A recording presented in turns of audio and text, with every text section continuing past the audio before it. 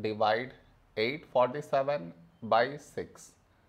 To do this division, we should frame it in this way. 847 here, 6 here. This is your step 1. Next, here we have 8, here 6. A number close to 8 in 6 table is 6 ones 6. Now we should subtract, we get 2. After this, bring down the beside number, so 4 down, so 24. When do we get 24? In 6 table, 6 fours 24. Now we subtract, we get 0. After this, bring down the beside number, so 7 down, so 7.